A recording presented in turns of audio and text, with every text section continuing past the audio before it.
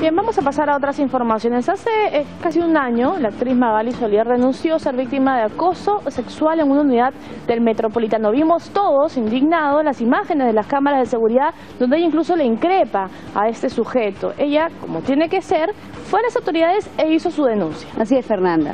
Esta denuncia ha sido archivada y la noticia se dio a conocer hoy por la mañana.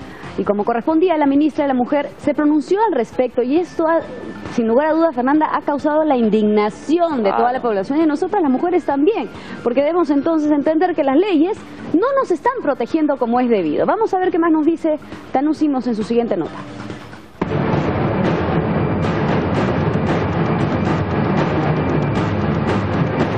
La vimos al borde del llanto, fuimos testigos de su valentía y acompañamos una de las historias más difíciles de su vida.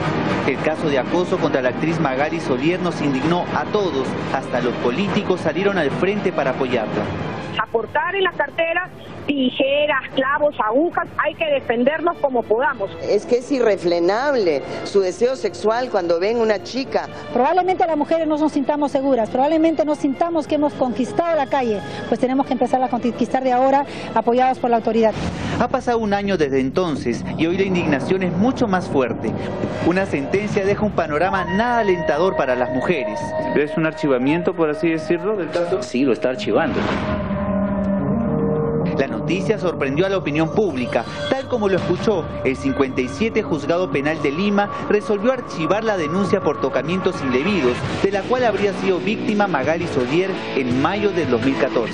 Se considera que no hay eh, delito respecto a la denuncia del fiscal y que esto debe ser derivado a una acción por querella. Estas imágenes grabadas en una estación del Metropolitano dejaron al descubierto un acoso al que se enfrentan miles de mujeres a diario. En el video aquella vez la víctima fue la actriz Magali Solier. Ella denunció que cerca a la avenida Aramburú un sujeto se masturbó detrás de ella mientras viajaban en el bus. Al llegar a la estación Magali se armó de valor para increpar al hombre que la habría acosado. Daniel Durante Nazoa negó todo frente a la furia de la actriz. Ella, sin embargo, continuó su lucha y narró la terrible experiencia ante la prensa. Hubo un hombre, un hombre en la mañana, que estaba masturbando detrás de mí. Me estaba tocando, me estaba masturbando. La Fiscalía de Oficio denunció a Durán por delitos contra la libertad sexual, tocamientos indebidos. Las palabras de Magali, sumadas a los videos y algunos testimonios, generaron conciencia sobre un problema que golpea a las mujeres día a día. Incluso semanas después, adolescentes se animaron también a denunciar acosos y tocamientos en buses de transporte público. La situación es que en la realidad sí ha habido, o sea, un tocamiento indebido, o sea, ha habido un contacto físico directo de este sujeto contra nuestra patrocinada. Ella se ha sentido vejada frente a esta situación en, un lugar público como es un vehículo público. El caso de la actriz se convirtió en la punta de lanza para castigar el acoso callejero contra la mujer. Hoy casi un año después tanta lucha e indignación queda extinguida ante una decisión judicial. Y lo ha archivado y ha, manifestado que eso se haga a través de una acción por querella privada, interpartes, que donde eh, nuestra patrocinada le tenga que cursar una carta notarial pidiéndole la disculpa y que él haga también su descargo. El Poder Judicial decidió que no se castigue penalmente a Durán. El abogado de Magali está sorprendido por la decisión del juzgado, pues sostiene que no se tuvo en cuenta algunos elementos importantes. Y la jueza no ha, no ha visto inclusive no, el antecedente que tiene este denunciado, ya que él en el 2012 tiene una denuncia en la, en la comisaría de Cotabambas por otra ciudadana bajo la misma situación, el mismo modus operandi. No solo los antecedentes del denunciado, según el abogado, Magali nunca fue llamada a dar su declaración. Ella no asistió al juzgado, no ha sido citada. Simplemente porque no la, han, no la han citado para que concurra. A la distancia en Ayacucho, la protagonista de la teta asustada recibió la inesperada noticia. A través de su cuenta de Facebook respondió muy decepcionada de las autoridades. La policía y la fiscalía acogieron mi caso y decidieron acusar al acosador. Y ahora mi abogado me comunica que mi caso fue archivado por una jueza, así como lo leen, una jueza, diciendo que no hay lugar a juicio porque según ella es una simple querella. En su comunicado lamenta sentirse tan desprotegida, al igual que otras mujeres como ella, que increíblemente poco pueden hacer ante pervertidos en las calles. Nuestra patrocinada se encuentra verdaderamente impotente, se encuentra bastante indignada frente a esta situación. Dice, ¿cómo es posible si esto es un, una, se ha hecho un acto público, una situación que verdaderamente yo he sido vejada?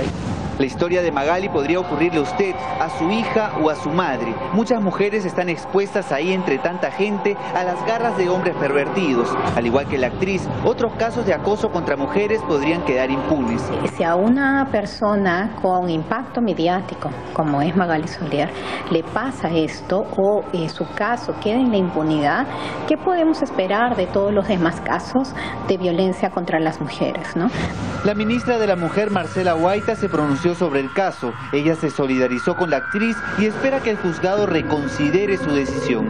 Toda la ciudadanía en el Perú ha sido testigo en este caso del impacto que uno sufre cuando vive este tipo de situaciones. Por lo tanto, nosotros invocamos al Poder Judicial para que investigue de manera acelere, establezca la verdad y sancione la autoría, sobre todo tratándose de una persona que es reincidente.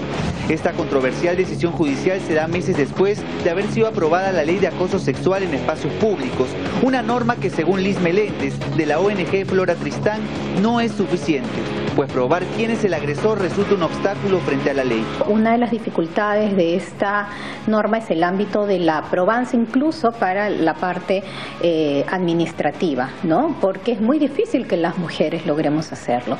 Y eso es uno de los, eh, fue uno de los argumentos que se usaron en el Congreso, eh, que de alguna manera evitaron que se afiance el ámbito de la penalización en el campo del acoso sexual, ¿no? Por más que algunos las consideren el sexo débil, muchas tienen las fuerzas para denunciar a sus acosadores. Pero si la ley o el Estado no las protege, ¿qué les queda a las mujeres? La sentencia es una batalla perdida para Magali Solier y para el género femenino. Sin embargo, ella apelará a la decisión en busca de una respuesta que pueda golpear a aquellos malos hombres.